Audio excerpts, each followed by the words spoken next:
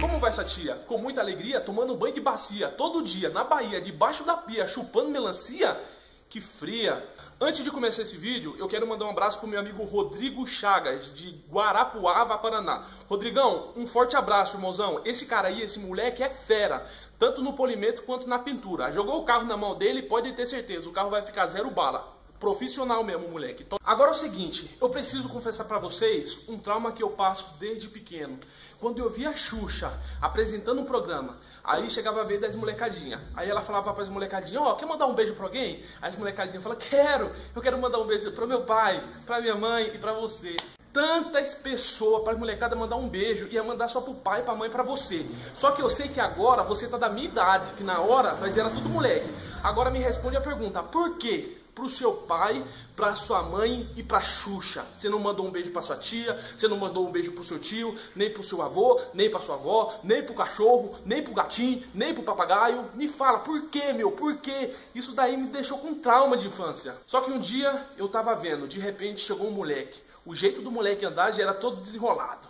Aí a Xuxa perguntou: quer mandar um abraço para alguém? Ele falou: quero. Para minha mãe, pro meu pai, para você e para minha tia. Pra minha tia, moleque, ganhou meu respeito. Por isso que eu falo, todo mundo aprende com o próximo, tanto na pintura automotiva, quanto um médico, quanto um advogado, todo mundo aprende com o outro. Depois desse dia, meu irmão, todo mundo mandou um abraço pra tia, pra avó, pro bezerro, pro fulano de tal e pra não sei quem mais.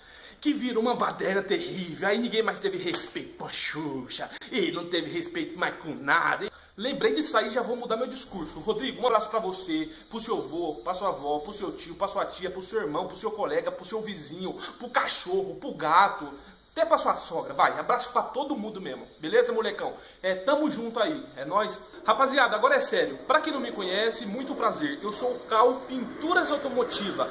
E nesse vídeo vou estar tá falando sobre o reparo dessa caminhonete que tá bem aqui atrás, é uma L200 Triton, beleza? Tem alguns reparos pra fazer, não é nada de sete cabeças, vou mostrar pra você o resultado do começo, o passo a passo e o final, mas pra você que tá aí desse lado daí, pelo amor de Deus, vamos trocar uma ideia aqui rapidinho agora.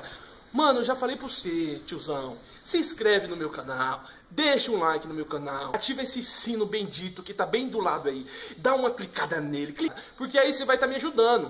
Então, se você estiver me ajudando, eu vou te ajudar. E nós dois vamos se ajudar e vamos ficar todo mundo ajudado, beleza, rapaziada? Tamo junto, não sai daí, fica até o final. Não pula esse vídeo, beleza? Tô de olho no C, ó, tiozão. Beleza, rapaziada?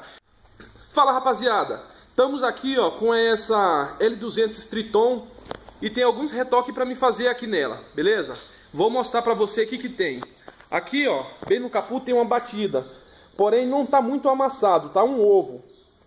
Mas esse ovo aqui, se eu passar massa aqui, corre o risco de trincar mais para frente. Então, o que, que eu vou fazer aí? Eu vou chamar na spotter, vou botar o que tiver aí para arrumar. Aí depois eu começo a fazer o procedimento aí, beleza? De pintura. É, aqui de baixo, ó, tem esse reparinho aí para fazer também, ó que deu uma encostada em um carro e essa gradinha aqui, ó, tá quebrada. Eu vou ver que eu consigo arrumar ela. De repente ele vai comprar uma dessa aí, uma gradinha, e eu vou colocar de novo.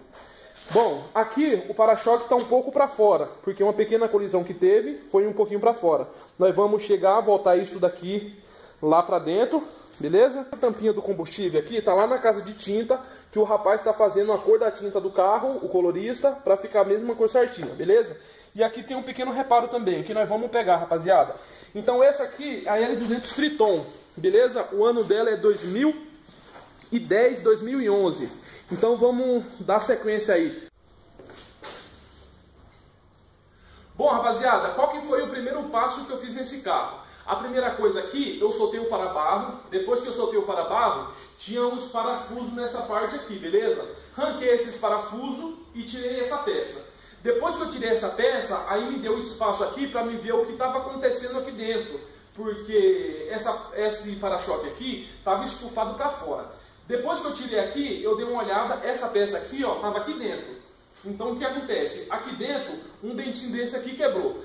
Então que eu falei para o proprietário, ele falou o quê? Que aqui no caso então ele ia comprar, ia na Mitsubishi, ia comprar uma peça dessa aqui. Bom rapaziada, o que, que eu fiz aqui? Para mim começar a trabalhar nessa parte, eu fiz aqui o risco da onde que o vinco vem, aonde que ele para. para mim poder trabalhar em cima desse vinco aqui, ó. Então, se você ver aqui, ó, tá certinho. O vinco aqui, ó, tá na marca onde que ele tá vindo aqui e tá morrendo aqui, beleza? Bem na pontinha aqui, como que eu sei que tá aqui também? Que tem bem um triângulo, tá bem no meio da pontinha. Então, primeiro eu vou acender esse vinco. Depois que eu acender esse vinco aqui, aí eu parto para essa parte, para essa parte, beleza, rapaziada? É o seguinte, lá no, no, no, na bateria, eu já coloquei o protetor de bateria já, e agora eu vou começar aqui na spotter. Agora, a esarruela aqui, tá, ó. Eu, com essa esarruela aqui, com essa esarruela que eu estou soldando aqui, depois eu vou puxar, e aí o vinco vai acender. Aí o vinco vai ficar mais visto agora. Porque aqui ele está sem, devido à colisão que teve. Então eu vou soldar aqui a essuela bem na, na linha aqui. Aonde que está a linha, eu vou soldando a essuela. Fala rapaziada, é o seguinte. Eu estava mexendo aqui e deixei o celular gravando. Como eu fui dar uma olhada aí, para me colocar pausa no vídeo, é, a memória do celular acabou. Acabando a memória do celular, parou aí, eu não vi. Então eu vou dar continuidade de onde eu parei, porque aqui foi pouca coisa. A única coisa que eu fiz, desse lado aqui, estava assim, ó. Eu fui, puxei na spotter dois amassadinhos que tava e acendi o vinco. Mas no canal aí tem um Siena, um Siena 2010, parece 2009, que eu acendi o vinco e mostrei alguma coisa lá, beleza? Então aqui eu só, só tinha só um, uma bolinha aqui, eu chamei na spotter só e acendi esse vinco. Beleza, rapaziada? Então eu vou dar continuidade aí e perdeu, perdeu. Vai fazer o quê? Não adianta chorar pelo leite derramado. Então o que, que eu fiz aqui? Depois que eu passei essa parte de massa aqui, aí eu fui, coloquei a lixa aqui, coloquei a, a fita desse lado aqui, vou dar continuidade aqui, ó. Passei uma fita aqui agora, e agora eu vou vir daqui até aqui. Porém, tanto esse lado quanto, quanto esse lado aqui, eu vim na roquite, certo? E deixei aqui um degradê que se você passar o dedo aqui não dá pra ver. Porque de repente aí, se você deixar aqui tipo um degrau entre a tinta e a lata aqui, se você sentir o degrau no dedo aqui passando a mão, depois que você passar a massa e o primer, corre o risco de ficar o mapeamento aqui, beleza? Então, para não ficar esse mapeamento aqui, esse degradê aqui, você capricha bem, desbasta bem na, na lixa aí, beleza? Vamos dar continuidade aqui, ó. Bom, rapaziada, esse aqui, ó, é o tanto de massa para o catalisador. Agora eu vou mexer aqui, ó, no aplicador e na espátula mesmo, ó.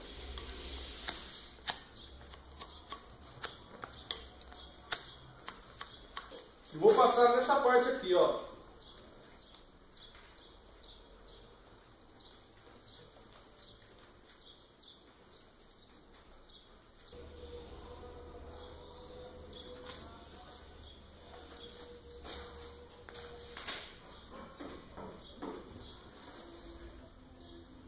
Eu sou a favor, eu não sou a favor de muita massa. Eu acho que a massa tem que passar uma, uma uma camada fininha, beleza? Não ficar enchendo um carro de massa, porque ainda mais aqui no capu, onde sobe o capu, desce, onde abre e fecha, então aqui tem muita pressão. Então, para trincar uma massa aqui é muito rápido. Então aqui eu passei uma massa, porém essa massa aqui na hora de lixar, 50 a 60% dessa massa vai ser tirada, então vai ficar só uma rapinha. Esse último passo que eu fiz com a massa, eu vou estar tá mostrando de novo aqui. O que, que, que vai acontecer? Então repara que aqui tem um vinco de fora a fora. Então o que, que eu fiz aqui? Ó? Eu vim com a fita, correto? E tinha achado já o vinco, o vinco era esse aqui, ó. Beleza? E tinha passado aqui.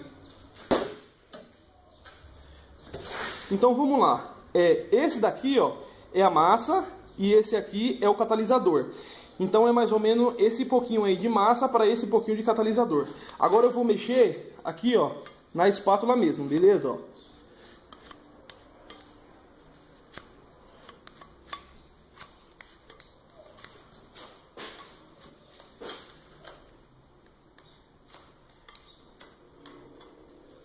Ó, tem que mexer a massa até a massa tá meio acinzentada, porque o catalisador é cinza. Até ficar um cinza bem clarinho a massa, beleza? Ó, se o catalisador for vermelho, até ficar um vermelho bem clarinho. Depois que ficou aqui o cinza clarinho, que a massa, você vê que a massa está bem, é, que a massa está bem homogênea, então você vai passar. No meu caso aqui, ó, ó, eu vou passar uma camada bem fininha aqui, ó.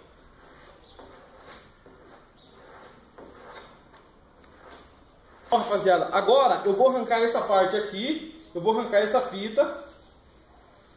E ficou marcado aqui o vinco certinho, beleza?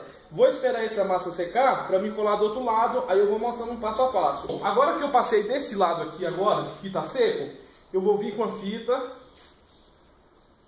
Tá vendo? Vou deixar um pouco aqui, ó, um pouco afastado da, da linha do risco, do vinco aqui, tá vendo? Só um pouquinho. Agora eu vou passar a massa desse lado aqui, eu vou passar mais uma rapinha de massa. Então aqui é a mesma coisa, ó.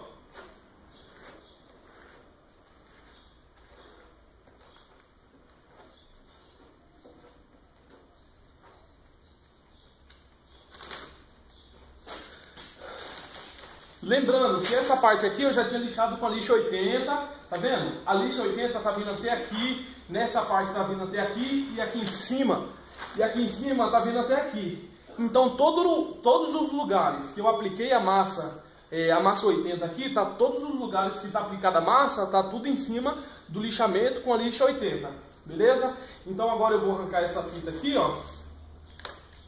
Então já dá para ver que o vinco aqui ficou certinho, ó. Que o vinco aqui está bem aceso agora.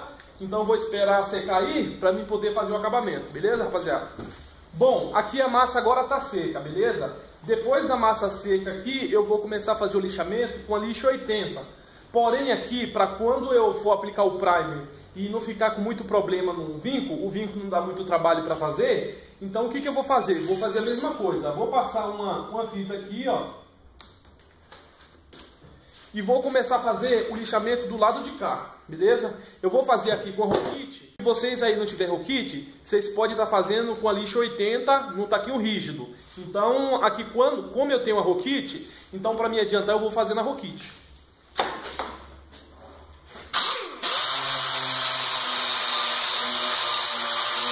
E aqui é o seguinte, mesmo se você estiver no taco rígido, sempre o movimento é esse aqui, ó. Você não pode fazer assim, porque se fazer dessa forma aqui, vai marcar aqui. Entendeu? Dessa forma aqui, você vai seguir o desenho que está no carro.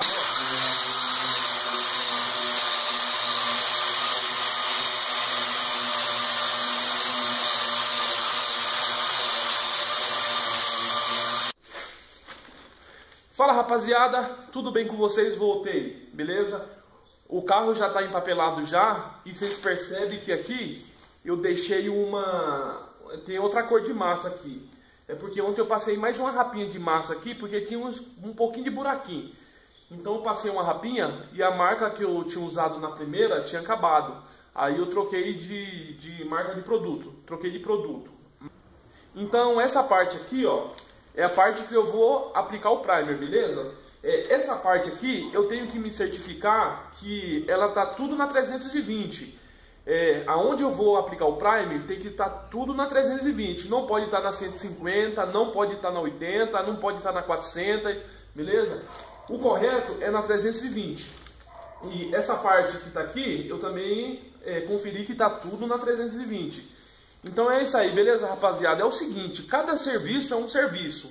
É, esses vídeos aqui eu estou passando um passo a passo. Porém, esse carro aqui, como o proprietário está com pressa, que ele precisa ir no casamento, então por isso que eu acabei perdendo um pouco do, do vídeo aí e fiz essa parte aqui, não filmei, beleza? Mas nos próximos eu vou estar tá passando passo a passo certinho. É porque devido à correria que eu tô aqui, às vezes eu ponho o celular aí e nem dou atenção, depois eu vou editar tudo, é, como que tá ficando a gravação aí.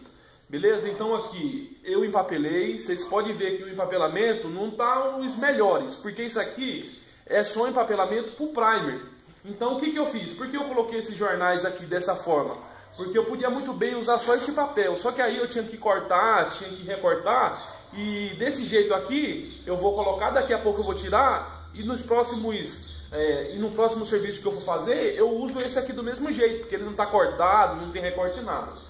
Beleza, rapaziada? Outra coisa, é o seguinte, cada carro é um carro. Esse, essa, essas dicas que eu estou passando aqui certo? Todos os carros têm assim a sua diversidade, beleza?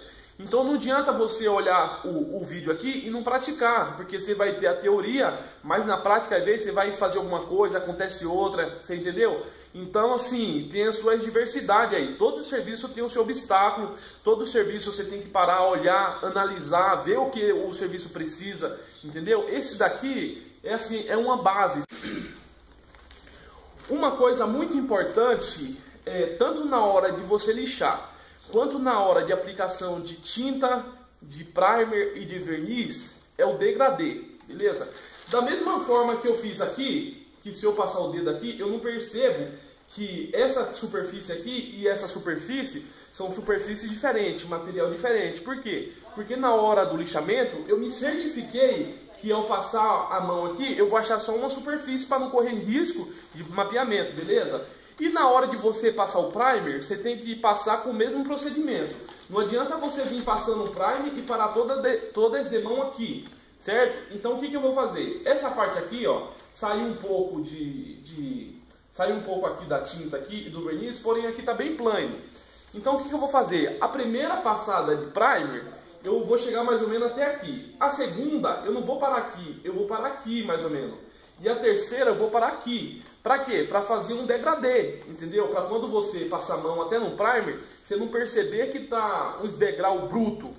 Beleza, rapaziada? Então é isso aí. Então acompanha aí. Outra coisa muito importante é sempre você prestar atenção no vinco, porque o, o design desse carro aqui, ele tem um vinco bem aqui no meio, correto?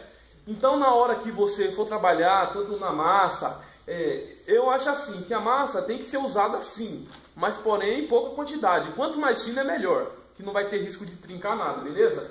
Depois que você prestar atenção no vínculo, no design do carro, aí você começa a fazer o serviço. Mas antes de todo o serviço é bom separar, analisar, estudar da forma que vai ser feito, beleza? Para quando você estiver fazendo, você já ter assim o espaço a passo que você vai estar tá fazendo, beleza? Então é isso aí. Vou aplicar agora a primeira demão de primer, aí depois eu vou aplicar a segunda e a terceira.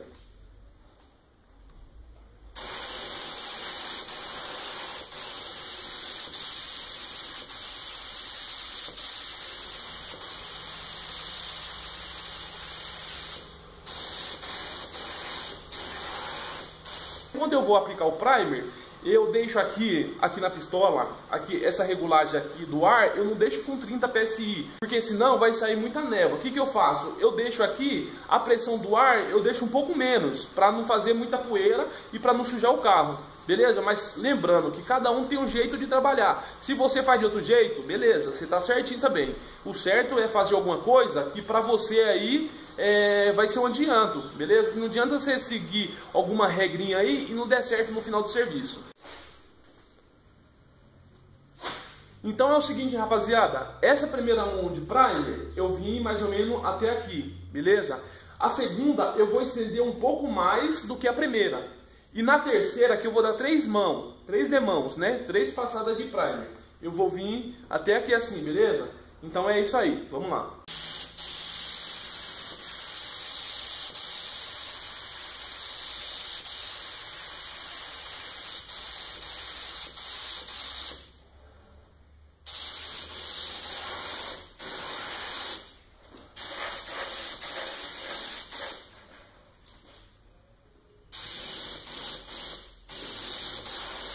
Vamos lá, rapaziada. Agora eu vou passar a última demão. A última passada eu vou chegar até aqui. Eu vou evitar chegar perto da fita crepe para quando chegar aqui não dar um, um, degrauzinho seco. Então aqui a próxima eu vou chegar um pouco para cá, vou estender um pouco para cima e um, pro, um, e um pouco para o lado, beleza? Aí depois eu vou vir com controle de lixamento.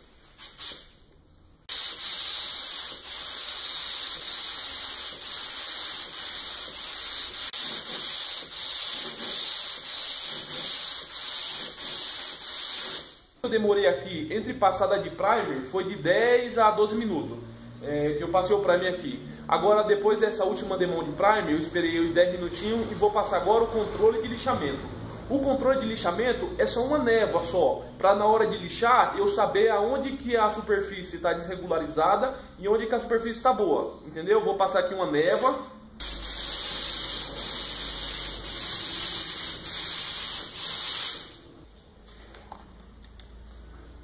Pronto, rapaziada, vou esperar agora 4 horas para me poder lixar esse primer que eu passei aqui. Daqui a pouco eu volto, já dando sequência a essa parte aqui. É, a única coisa que eu fiquei meio chateado foi por ter perdido aqui a, a filmagem da Spotter, que foi bem bacana, fazer o vinco, tudo bonitinho. Mas na próxima oportunidade aí nós vamos estar tá postando, beleza rapaziada? Não sai daí não que a coisa continua aqui, beleza? É nóis!